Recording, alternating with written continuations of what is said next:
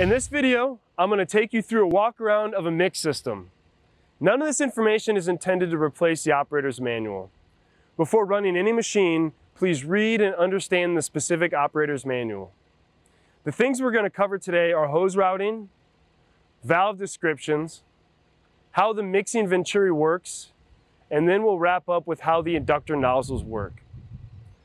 The first thing I like to do when becoming familiar with the mix system is to look at the hose routing.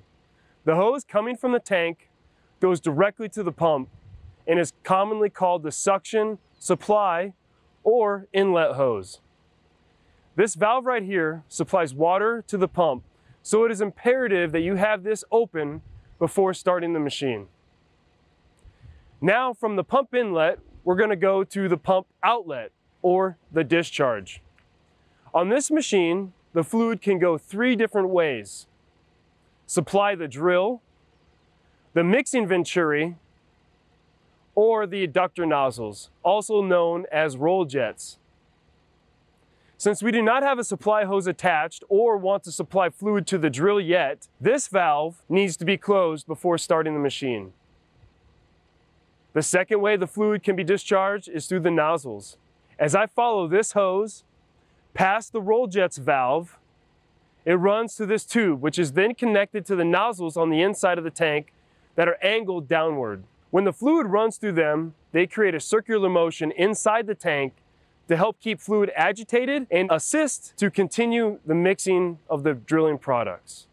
Before starting the machine, the roll jets valve needs to be open to allow a path for the fluid. As soon as the engine is running, this machine is sucking fluid and discharging fluid. So having the roll jets valve open is also ideal path for discharge. The third and final way the fluid can be discharged is through the venturi. Let's go to the other side of the machine where that is located. Before explaining the venturi, I'm gonna talk about the hopper tank, which is where dried products are added before going into the venturi. Let's look at a cutaway view and I'll be able to explain more about how that all works. You'll see in this image, we have the hopper that I just talked about, where the drive products are first put into the machine.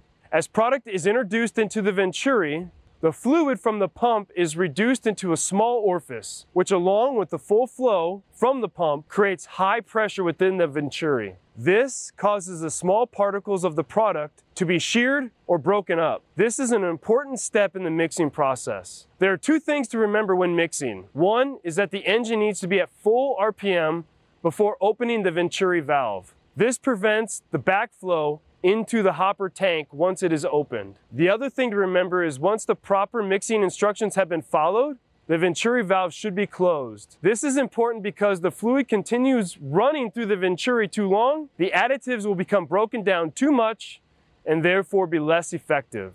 The last thing I'm going to explain is how the nozzles work. Let's look at inside the tank and see how they are angled and positioned within the tank. The angle allows the nozzles to create a rolling effect in the tank, which is beneficial because it helps keep the fluid mixed during the drilling process and reduces settling of the additives.